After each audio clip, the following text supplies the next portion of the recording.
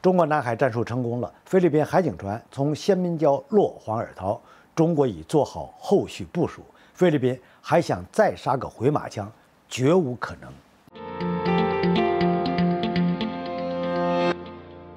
欢迎收看严守军论评。这两天呢，南海仙民礁传来了大捷的好消息，在仙明礁海域游荡了五个月之久的菲律宾海警船“九七零一号”终于落荒而逃了。日前，据我国智库南海战略态势感知计划。发文表示，根据卫星监测，菲律宾海警船“九七零一号”已经撤离了仙明礁海域。与此同时，美国海军协会也证实了此消息。新美国安全中心的高级研究员表示，根据 GPS 的船舶定位数据，菲方海警船已经返航。这一消息说明，我们在仙明礁的战术成功了。过去五个月。菲律宾海警船一直在游荡在仙民礁附近海域，企图寻找机会在仙民礁上坐滩复刻仁爱礁事件，而我们的海警部队也一直在该海域与菲律宾进行对峙，尤其是最近一段时间，对峙的烈度不断上升，菲方海警船三番五次强行冲卡，而我们的行动力度也在层层加码，到最后，我们直接给菲方海警船来了一招铁桶阵。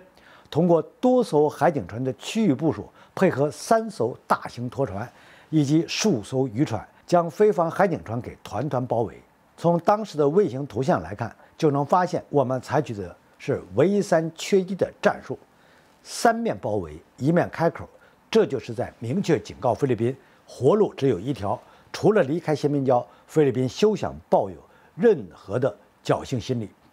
而半个月过去了，菲方海警船果然撑不住了。小马克思政府声称，菲律宾海岸警卫队司令加文亲自来到码头迎接9701号海警船返航，并为船员举行了庆功表彰大会。但从网上流出的照片，我们能看到9701号上的船员都是被担架运下来的。据相关消息人士透露，在过去半个多月里，九七零一号海警船因为没有收到任何补给，船上的船员只能喝米粥充饥，到最后纯净水用完了，连米粥都没得吃。在撤离前两天里，船员基本没有任何的进食，所以导致了严重脱水。而之所以九七零一号海警船收不到任何补给，那是因为我国海警先后多次逼停拦截了菲律宾的运补船只，把仙明礁海域围了个水泄不通。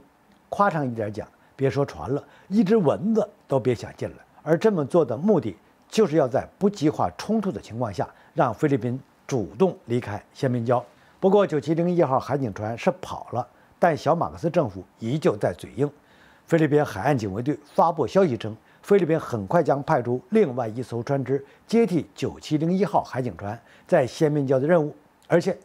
九七零一号海警船在完成了补给和维修后，也将再次返回仙明礁，继续执行坐滩任务。